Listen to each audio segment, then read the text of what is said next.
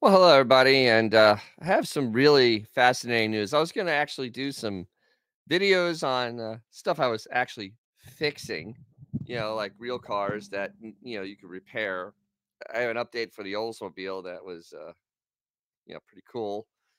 Uh, unfortunately, none of that's going to happen right now because I came across an article uh, from Mopar Insiders about our favorite company, Stellantis, and their absolute tone deaf complete lack of self-awareness, not reading the market, not reading the room, just utterly and absolutely lost when it comes to SEMA, which is in two weeks, which is the uh, specialty manufacturers showcase. So this is where all your really cool concept cars, all the uh, cool accessories, everything that you know that you could put on your car or truck to add some power or some something to make it different.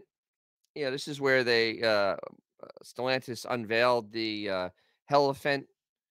You know, they they've unveiled a bunch of actually cool things at this show, and uh, this new thing is not one of them. So let's dive into this this absolute mess. Mopar newest concept appe- appears to be an electrified Belvedere. Everybody, show of hands. Who, who, who? Come on, show me your hands. Who actually is wanting this? I, I can't find. I, I have yet to hear anybody got a car show go. Yeah, man. I wish this classic car had an electric motor in it, so I could be tied to, uh, uh, you know, having to charge it every day and not be able to store it for two months. And yeah, that'd be awesome. So yeah, here we go. Mopar gives us more hints at their newest concept coming to SEMA 2024. And this is from Mopar Insiders, Robert Miller. Mopar has just offered a glimpse of an exciting new concept. Damn, these guys are good. Man, they can make anything sound like it's not garbage. Uh, ahead of the 2024 Specialty Equipment Man- Marketing Association, SEMA, show scheduled for November 5th through 8th, 2024, at the Las Vegas Convention Center this year. The performance brand has chosen to revive a classic, the 1966 Plymouth Belvedere.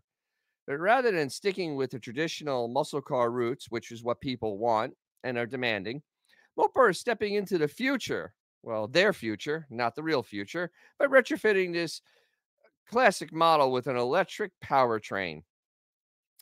A modern twist on a classic. Mopar has a reputation for creating show-stopping resto-mod builds for SEMA, and this Plymouth Belvedere concept promised to be no different. While many enthusiasts anticipated a powerful Hemi V8, which, yes, that's true, or even the twin turbocharged Hurricane, which uh, would be this thing, crate engine.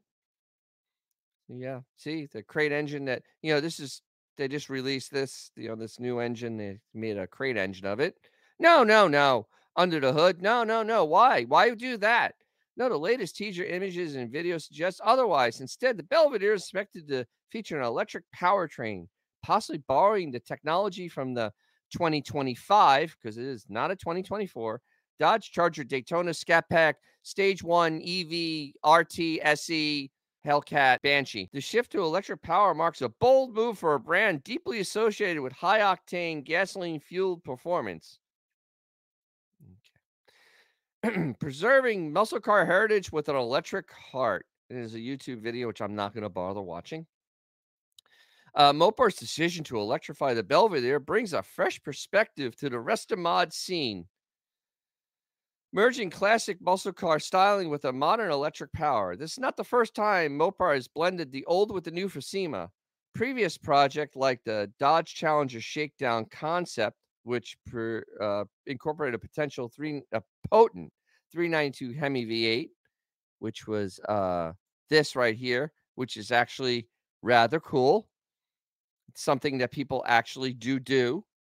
I don't know why, but they do do it. Hey, you know, more power to, them. See, look, this is a car that people actually are doing, and you can do this in your garage. No special tools needed. Just you know, So, you know, and and Holley actually sells the things so you can plug this right into your car and drive it. Okay, yeah, that was one thing. Okay, that made sense. That's when they actually had uh Kuniskis as their uh if I hope I'm saying that right, as their CEO, because he actually understood what what consumer wanted. Uh or uh the um 1968 Dodge Supercharger concept featuring the massive 7 liter 426 Elephant Hemi V8, which has set a high bar for creativity. And that's this motor in this, I think this is a carbon fiber. I hate these ads. Uh, carbon fiber body. Once again, you know, makes sense. Could put gas, go to the local store, put gasoline in it, and if you don't drive for a month, it just sits there and it's kind of cool. Yep. No chance of it catching fire just by, I don't know, water hitting it or just having a short. Uh, so yeah, this is the whole supercharger concept. You know, they they I believe they sold out of the bodies because it's actually something people want because it is repairable and kind of cool. But here, like, let's go back to this story. And then, of course, the uh, unconventional builds, the uh, 68 Dodge 2 D200 camper special transformed to a sleek Cummins power low ride. I didn't even bother. I, I'm more interested in cars.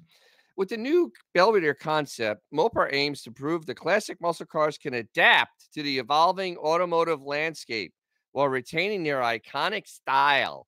The choice to electrify the Belvedere aligns with broader trends in the industry as automakers balance nostalgia with modern technology to attend to attract a new generation of enthusiasts. So once again, now Stellantis is fully on board with the modern audience. Does that does not exist?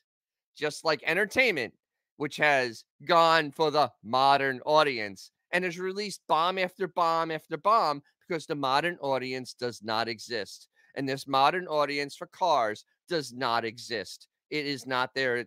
There is a small subfraction of people that buy into the electric car hype garbage. And they they have no these are not car people. These are not people that understand how cars work or how things over time break down. This is once again Stellantis just being lost. And this is why they replaced He was pushed out.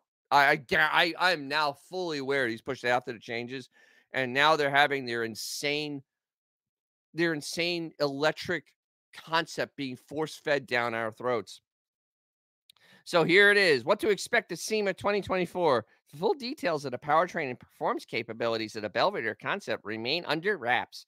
But if Mopar's past built any indication, the rest of the would be very controversial once it's rolled out.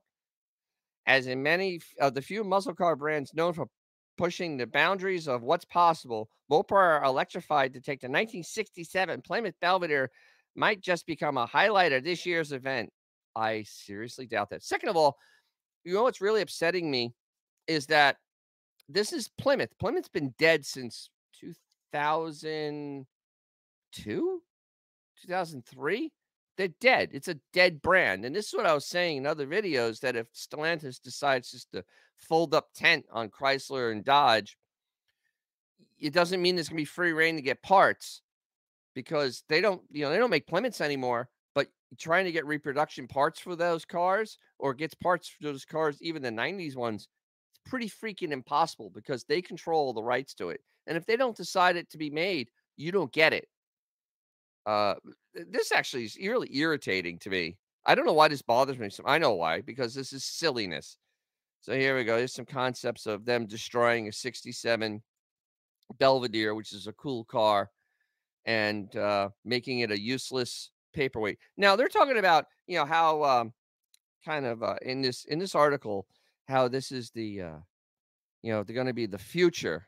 So let's go and look what see what Ford is doing at SEMA.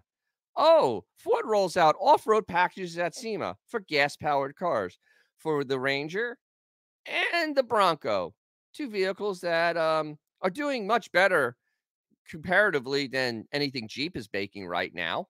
Um, yeah.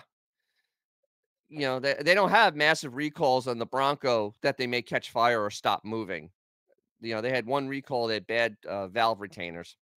uh, on the six sixes, and that's all.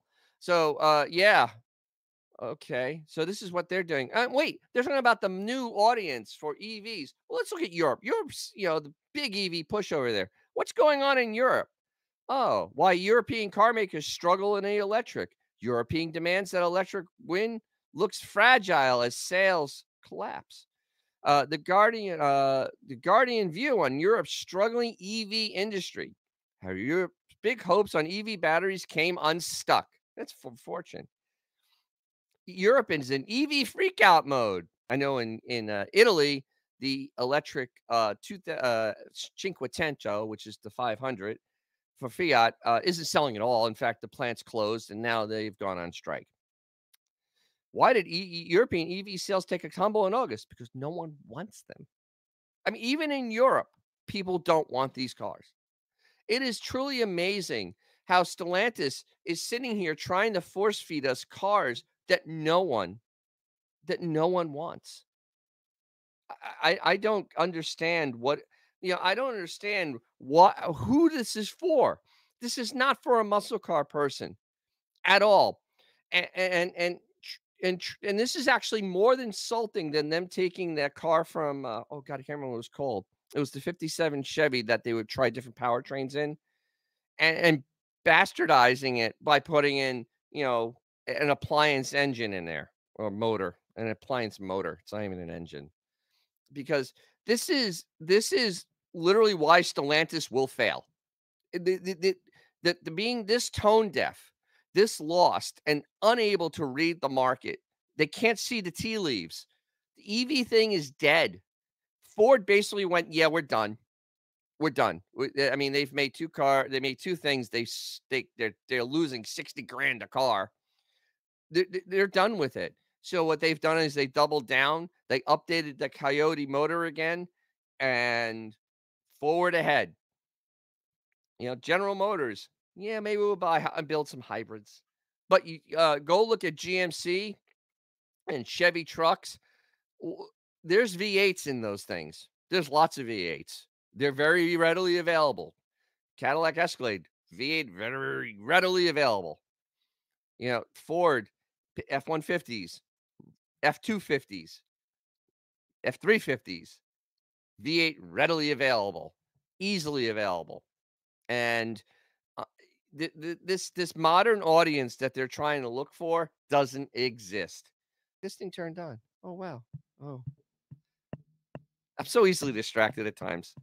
Uh, but but yeah, so those are my thoughts on this absolute tragic travesty uh, that has happened uh, at SEMA from Stellantis. Uh, what are yours? I'm just curious because this really this is just so unnecessary at this point. I I don't I I just don't get it. I don't. Uh I hope you got something from this. If you did, hey, like, subscribe. You know, check my channel out for other stuff because I actually do work on cars. I actually really love cars. And I try to put some tips and tricks and whatever. And I actually have a variety of cars I work on.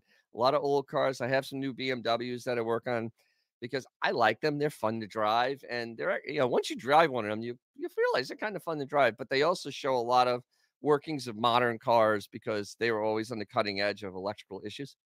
Um, but you know, I, I, that's what this channel is all about. But I, I, like keeping up on the news, especially when it deals with uh, Chrysler Corporation and Stellantis, the overlord, which uh, has been doing things that have been more damaging to the automotive industry than anything else that can be done. Uh, and, you know, at this point, you know, coming out with something no one wants, not creating a buzz is um, unbelievable. And also, uh, where is the this this 2025 Charger EV thing? It's almost November. You allegedly opened up order books. I have yet to see any any news. I have I haven't heard I haven't heard a peep out of Stellantis since this uh, order book opened up that everybody went, "Oh my god, that's un that's just unobtainable. 80 grand for a toy." It, it no. You can go buy a muscle car for you know, you know, a fringe muscle car for 25 grand. And you know what? You can store it in the garage all winter and then take it out in the spring, with you know a stable in the gas tank, it'll start up and drive. Do that with your EV. Leave that in the garage all winter and see what happens to it. Oh, it'll be as dead as a doornail when you try to go start it again or move it or whatever you have to do to those damn things. So yeah. So there's that. You know, if you have an old car or something cool, take it out because you make someone's day, maybe even your own. And you know, I'll catch you really soon with uh, some updates on an Oldsmobile. And uh, all right, have a great one.